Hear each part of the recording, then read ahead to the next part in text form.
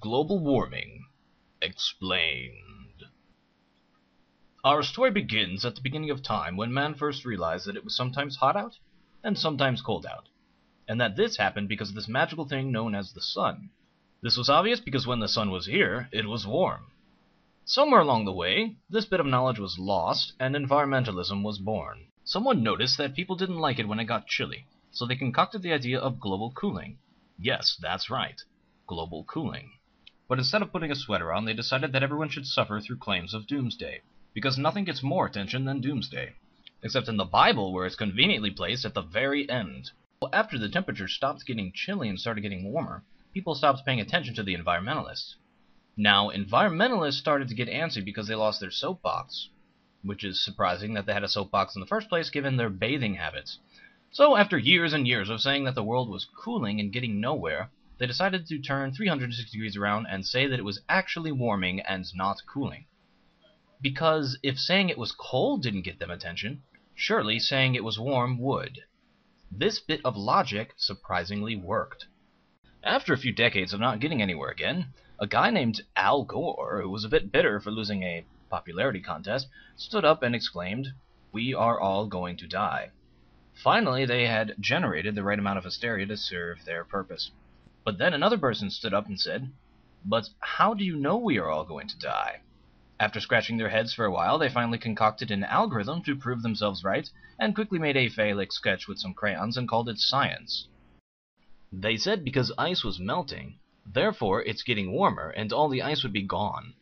This would make sense if water didn't also turn into ice, but it looks better if they leave that part out. For further proof they pointed out that the sea levels were getting higher because things were seemingly falling into the ocean. However, they overlooked something called erosion. Finally, they gave up on science because it was too terribly complicated and decided to go with a more kid-friendly emotional appeal.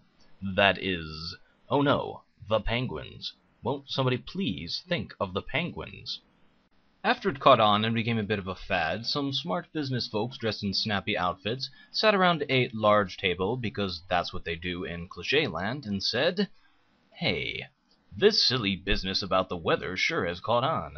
Let's exploit it. But wait, said the obligatory racially different character so as not to seem prejudiced. If we go along with it, it'll hurt progress as a whole. Oh, quiet down, said the obligatory generally different character so as not to seem sexist. It'll help the company in the end, which in turn will help the economy. I have something to say, said the obligatory handicapped character, but nobody listened to him. And so, green marketing was born. Green would actually be a pretty cool color if it wasn't used in such a horrible manner. You could say that green is the prostitute of the colors, selling itself up cheaply to make a quick buck. Now as for a solution to global warming, they say that if we had a cheap, relatively renewable, clean source of power, it would go away. Then nuclear power burst into the scene, its heavenly green glow illuminating the way to salvation, solving all of life's problems. But the environmentalists realized that they had a pretty good thing going with this global warming stuff, and had to act. They somehow successfully created another imaginary hysteria against a solution to their previous imaginary hysteria. And so, getting too deep into levels of deceit, I got confused and decided to end this explanation.